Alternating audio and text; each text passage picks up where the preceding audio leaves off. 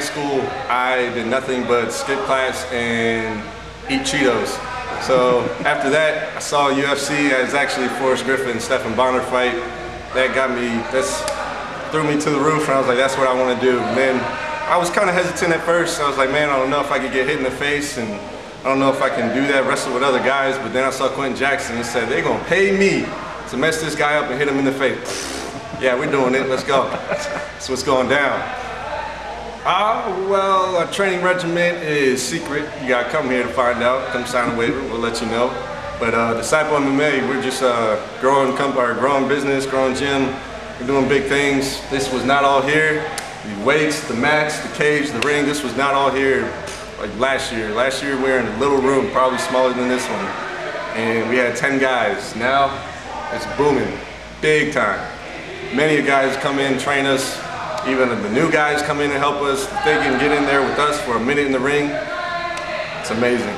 It's amazing what we're doing here.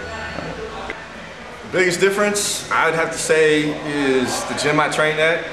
We got the top of the line guys, like I said earlier, top top guys here, top notch. We got U.S. champion out there and junior U.S. champion out there, uh, East Coast regional champion in Muay Thai.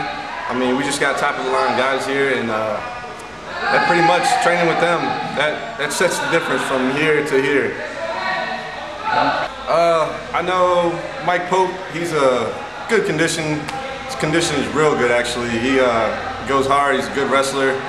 Um, the only thing I'm doing different to prepare is get ready, get my mind ready. Same thing, come in the gym morning, come in the gym at night, do what I gotta do and push harder and harder. If I think he's training, I go right to where I need to go and train.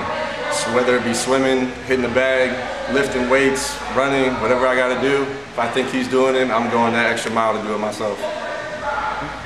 Uh, Mike thinks I'm a stepping stone. Well, I mean, that's what he thinks, so big. I know, I do know he was cutting 145 and they saw something in me that thinks, uh, let's go back up to 155 for our pro debut. So big. I mean, I, I, I train with the best in the East Coast. That's how he feels. Bring it, baby. yeah, uh, Mike Pope, hope you bring it because we're going to put on a show for everybody. And to all the fans and everybody else that's out there watching, be there July 28th because fight of the night, me and Mike Pope right here, baby.